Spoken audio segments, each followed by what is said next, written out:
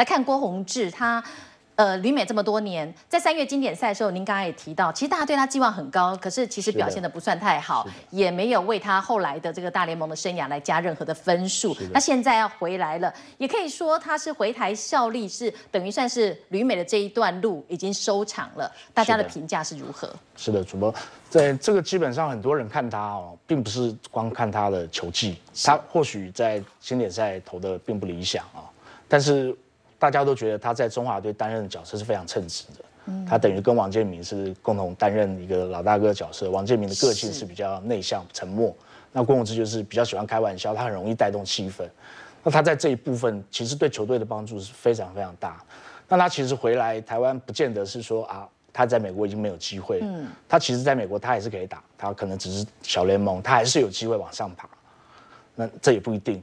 但是他既然选择回来，那就代表他希望能替台湾棒球贡献他一点力量。毕竟他在台湾，呃，在美国已经待了这么久的时间，所以这对他来说，我觉得这是一个全全新的挑挑战。嗯，那很多棒球人也是也对他充满了期待。其实大家真的张开双手欢迎他回来的哦，回到自己家乡来。